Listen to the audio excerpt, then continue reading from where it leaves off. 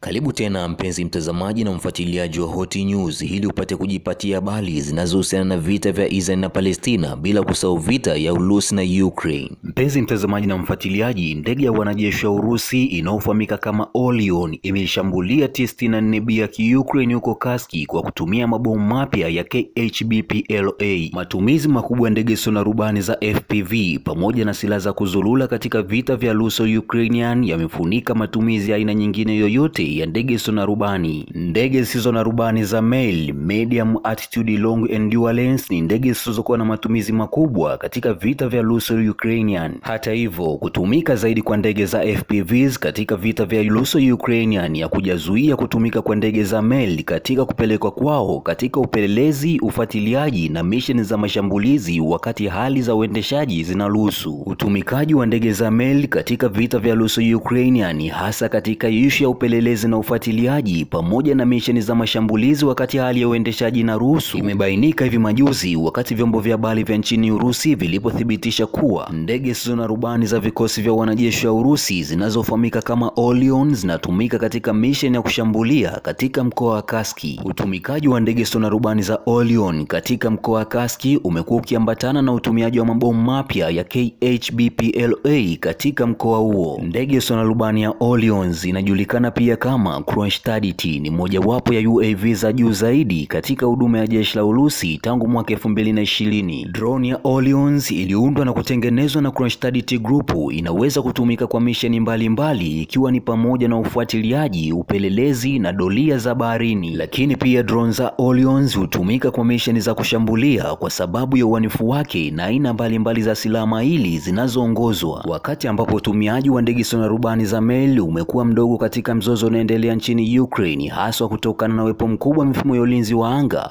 ambayo imependelea utumiaji wa drone za bei nafuu za AFPVs pamoja na risasi. Hali katika eneo la Kaski imeonekana kuruhusu utumiaji wa drone za mail. Matumizi makubwa ya ndege zisizo na rubani za Orions katika eneo la Kaski unatokana na eneo hilo kuwa na upungufu wa ulinzi wa anga. Kulingana na machapisho mbalimbali mbali ya ndani ya vikosi vya wanajeshi wa Urusi, mail Orion drones zinatumika katika mashambulizi dhidi ya makundi ya Kiukraini ambayo sasa yanatumwa huko Kaski. Katika ripoti iliyotolewa majuzi na vikosi vya wanajeshi wa Urusi vilidai kuwa meli Orion drones ilishambulia tenki la Ukraine la T-64B. Vikosi vya jeshi la Urusi vikiendelea kuelezea kuhusu shambulio la kifaru cha T-64B cha Ukraine vilielezea kuwa KHBPLA ikiwa ni moja ya silaha inayoongozwa iliyotambulishwa hivi karibuni ilitumiwa vyema katika shambulio hilo la tenki la T-64B la Ukraine. Bunduki mpya inayoongozwa inayoendana na ndege isiyo na rubani ya Orion ilizinduliwa hivi majuzi kwenye maonyesho ya AMI 2024 yaliyofanywa huko Moscow. KHBPLA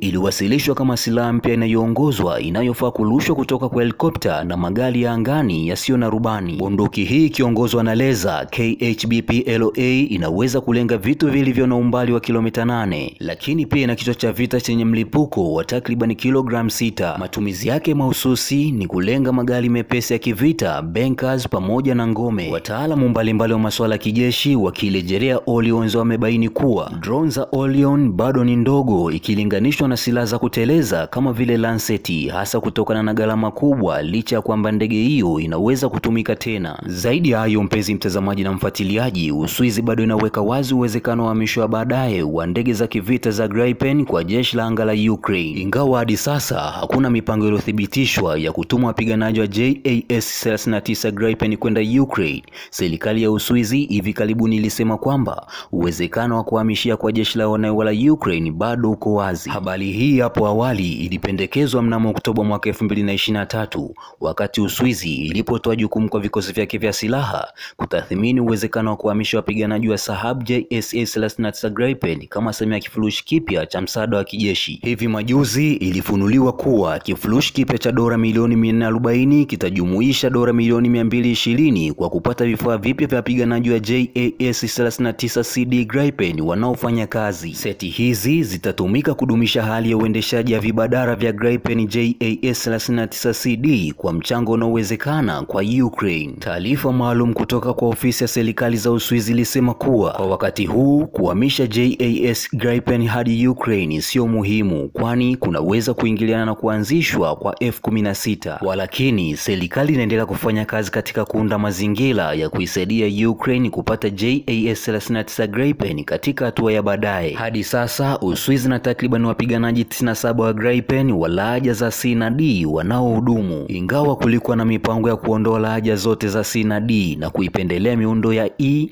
ili lilizingatiwa upya kufuatia uvamizi wa Urusi nchini Ukraine na kusababisha Stockholm kuamua kudumisha kundi kubwa la vita. Eneo la vita linaripoti kwamba ifikapo mwaka elfu mbili na thelathini Uswizi inapanga kuwa na Gripen takriban mia ishirini katika huduma huku nusu ikiwa na lahaja za E. Lakini pia eneo la vita lilifafanua kuwa miundo 37 ya CD itapelekwa nchini Ukraine. Hata hivyo, eneo la vita lilibaini kuwa idadi inayoweza kupelekwa Ukraine inaweza kuwa ndogo kwa sababu ya miundombinu na mambo mengine. Mkuu wa jeshi la wanayewala Ukraine Jenerali Seli Olubustov alikuja na kuiambia Uswizi kwamba miundombinu ya Ukraine ipo tayari kumudu idadi yoyote ya Gripen ili mradi tu tupate msaada wa kijeshi. Nikushukuru ewe mpenzi mtazamaji na mfuatiliaji wa Hot News kwa kuweza kuungana na mimi mwanzo mpaka mwisho mabali hii. Mpenzi mtazamaji na mfuatiliaji, ni kukumbusha usiache kulike na kukomenti, pia subscribe. Hii itakuwezesha kwa mtu wa kwanza kabisa kupata taarifa mbalimbali takazokuwa naziweka katika chaneli hii.